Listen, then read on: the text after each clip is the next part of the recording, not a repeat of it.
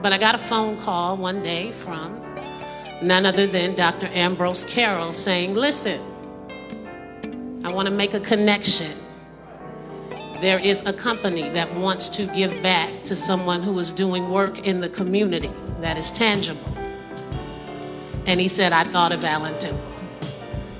I often say that black folk don't own a lot of skyscrapers downtown, but that we do own a lot of church buildings. Some of them are great cathedrals and some of them are storefronts, but all of them have to be retrofitted and all of them have to be electrified and upgraded to have clean air and clean water.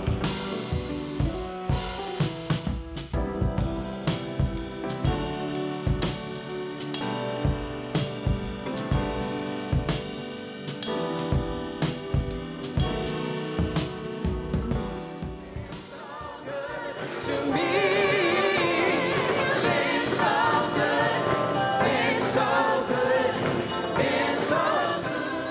And to create with all those who are spiritual a new world, a new heaven, and a new earth.